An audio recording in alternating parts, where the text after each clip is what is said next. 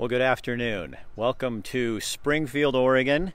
We're at Elements Health Club, of one of three that they have in the area. This is the Springfield branch. There's also one in West Eugene. They used to be Court Sports, now they're Elements Health Clubs. And Oakway Center is also in the Elements Health. Um, my wife and I go to this gym, so we're pretty dang excited because we're opening up. Oh my God! So um, it's going to be different though. Uh, like any gym in town, health club, there's going to be some changes. One of the changes here at Elements in Springfield, Eugene, and Oakway, there will no longer be food served, uh, no beer, no wine. So no, they'll have bottled water. But here to tell us all the expert stuff. Hold on, I'm going to get you over here. Tell them who you are. I'm Laura, and I'm one of the operations managers for the company. So this is quite the ordeal. It's been the ordeal. It's been a little crazy. So trying to get three clubs opened, and once we got the go ahead from the governor to start opening and doing some stuff, it's been all hands on deck trying to get it done. So cleaning, you guys have been in here with crews like Lysoling everything. Everything. We've done Lysol cleaning. We bought these, um, they're called defoggers. They're like little backpack things. You run through and you defog them. A lot of the casinos are going to be using them. So we've done those. So we'll be able to defog the rooms. Um, it's not a sticky or oil or slippery base. So it'll, it'll clean, it'll sanitize, it kills SARS, it kills the COVID 19, um, and it'll keep everybody safe.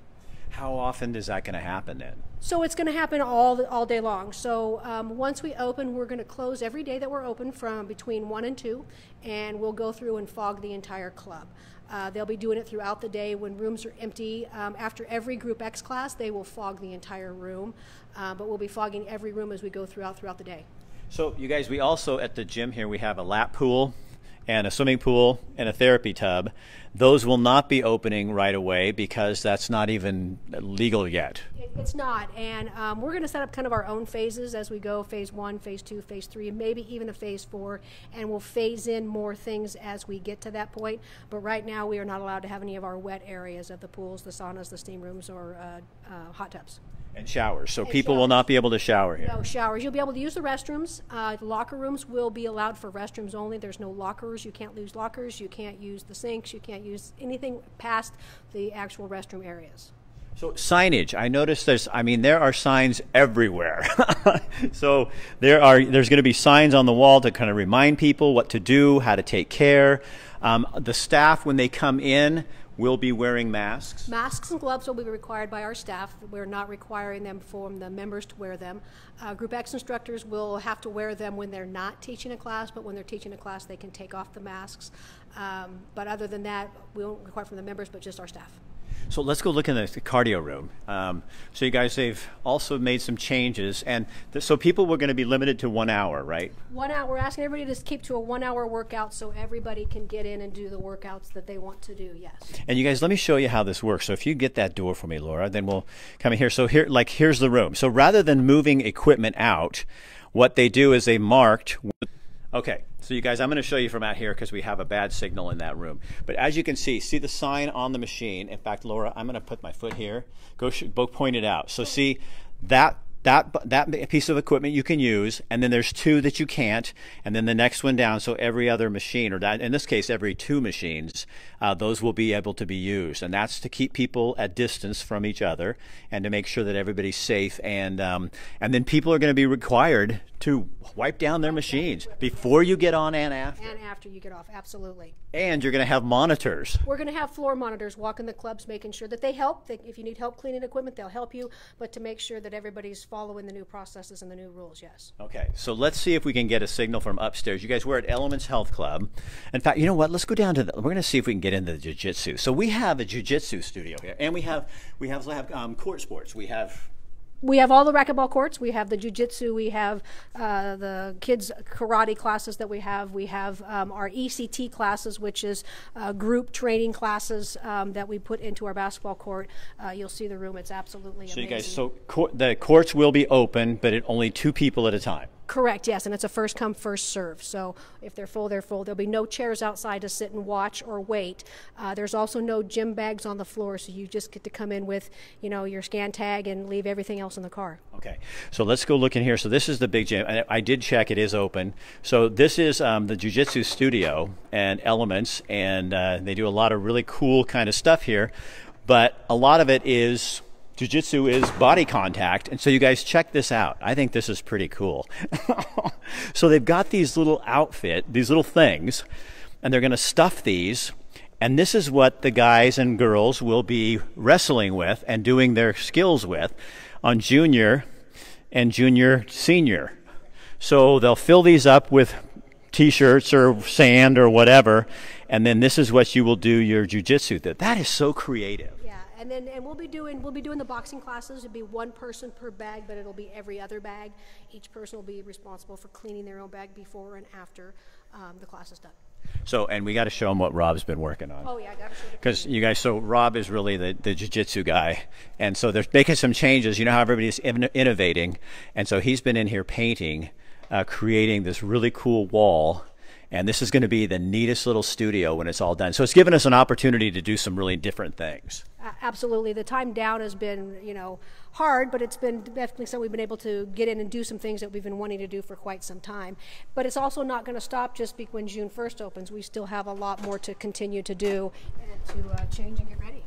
So you guys, we're also going to take you upstairs because there's going to be, in terms of the the cardio rooms and stuff like that, people will be they'll be marked off for in classes. Classes are not going to start here until They're going to start on, on June 1st with everybody else, but it's going to be just maybe a couple of classes a day. Um, and then our goal is to add more and more and more and get really maybe up to more classes by June 15th, but it won't be to what we had before because there's just not enough time in the day to do the classes, fog the rooms, clean the rooms, and have 25 classes in a day. So you guys, again, those of you just tuning in, they're going to have a fogging that goes on here, where it actually kills the COVID and uh, any other kind of germs that are in here. Um, there'll be rooms that'll be closed for a while because they're small rooms, and then in here. Uh, there'll be monitors in here making sure that people are abiding by the six foot rule and staying away. And then when you go to a Group X class like this down here, where I do my spin class, um, there will be marked off on the floor um, where people will be, and only a certain number of people will be allowed in here at a time. Yes, six feet apart, well, they'll mark it off in boxes, and that will be as many people that can come in. So people will sign up an hour before class. So uh, you can come in an hour before class and you can get a card. Um, that will have so many cards for that class. Um, once the cards are gone, no more people are allowed in the class. But you can get the card as early as an hour before. But other than that, it's a first come first serve. There's no reservations or anything of that realm. So it's going to take a lot of, and I'm sure this is happening at every gym in town, a lot of patience because we're all used to doing our own thing. Exactly, doing it and you know doing your own thing is the speed that you want. So this is going to definitely slow us down because it's going to be a learning curve for us too. You know, trying to figure out what works and what doesn't. You know, we're flying you know blind, kind of like everybody else is to some point. You know, so something that we think might be a great idea is not such a great idea, and we have to change it. But that's just going to be a process. Right. So the main thing is we're getting open. Um, people will be able to get back into the gym and do some things. Patience is going to be required. definitely patience is going to be required and you know advice and help you know we're going to really lean on the members to you know clean before clean after you know that just helps you and the next person and the next person you know the last thing you want to do is unbend the curve and you know we're back closed again Right.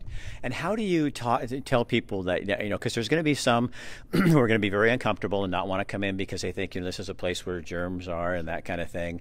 Um, come back at your own speed. come back at your own speed. Come back and come and try it. Come and just walk the club and see. You know don't think oh i can't go. Come see. If you're worried come check it out and then make your decision from there. But don't assume that it's going to be bad until you come see So, in terms of this, has been pretty tough on gyms, hasn't it? It's been Financially. I mean, so many gyms have gone under. You know, even big chain gyms. I mean, have gone under because of it's just it's not sustainable.